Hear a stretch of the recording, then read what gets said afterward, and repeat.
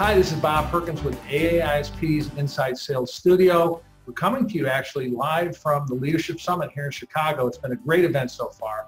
But uh, Jake Reni and I had a discussion a few minutes ago, and I wanted to bring him on the studio here to talk to you about a pretty important topic. But before he does that, uh, Jake, uh, I know you moved to uh, DemoChimp as Senior Director of Enterprise Sales, and, Yep. and DemoChimp now has a new name, right? Consensus. Can you talk to us about that a little bit? Absolutely. Yeah, it's it's exciting. Um, so recently we, we I came over and right after that we decided to, to go forward with our rebranding.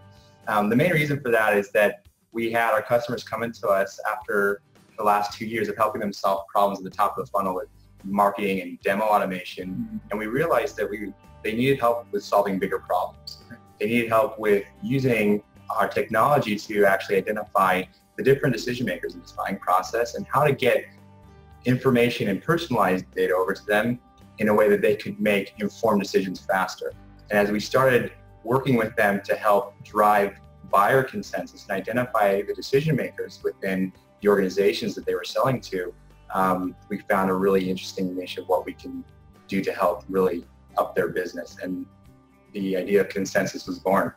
Good name. You know, it's a consensus building is a good thing. In fact, we're going to talk a little bit about what you just mentioned around finding the different buyers and decision makers. And as we spoke earlier, you, you were talking about account-based selling and Yeah. what it means. Can you talk to the viewers about some of your tips? Yeah, absolutely. So I mean, it's it's no mystery anymore. That we know that there are 5.4 decision makers. I mean, even today, that data comes from 2013. Now, arguably, people are saying even seven, if not more, decision makers in the enterprise buying process. And so we need to be able to identify who each- each one of these decision makers are, um, get the information that they're you know they care about, help mobilize that so that we can help our sellers right um, avoid group buying dysfunction, which occurs because once you get to that point of five decision makers, that purchasing decision, the likelihood of that drops 50%. And it's not because they're going with a competitor or because they're they're um, they don't have the budget. It's because they're not making a decision at all. And that's where group buying dysfunction happens. So analysis paralysis or too much group think that it never really kind of moves and does Never it, does it, does it dwindle sometimes? Yeah. Just kind of peter out? So the idea here is that one, early on, we need to be able to work with our SDRs, BDR teams to identify who these actual decision makers are before we even deliver that lead to an account executive to spend time working, right? Instead of, the idea here is instead of working one individual with an account, delivering a full buying panel Hmm. to your sales reps so they can start creating consensus from day one.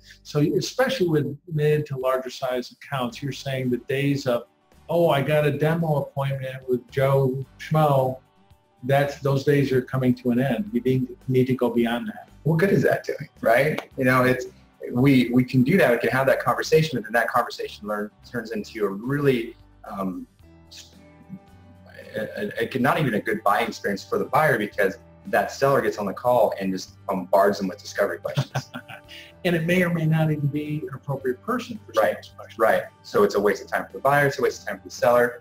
But if we can identify each one of these buyers in the process, bring them together, and then bring that buying committee to the account executive with context behind that conversation, then that account executive can get on a call and actually start building consensus around the needs, the pains, the goals, and, and drive a, a value aligned to goals, not just discovery. Well, I, you know, one of the things we've heard through our research is sales reps, meaning reps that are responsible to close down a quota, they want higher quality leads. What I'm hearing you say, much more thorough uh, investigation, uh, better understanding of the account, better understanding of the influencers, decision makers. And I think that's going to equal a higher quality engagement. Absolutely, absolutely, and it will shorten the sales cycle, and it will increase the close rates, and it will increase the deal size. Yeah, that's great.